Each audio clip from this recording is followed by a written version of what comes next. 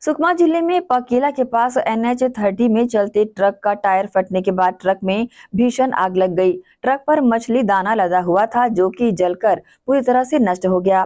जानकारी के अनुसार सोमवार को ट्रक मछली दाना लेकर बिलासपुर से आंध्र प्रदेश, गुरीवाड़ा ले जाया जा रहा था। इस दौरान ट्रक का पहिया जोरदार धमाके के साथ फट गया।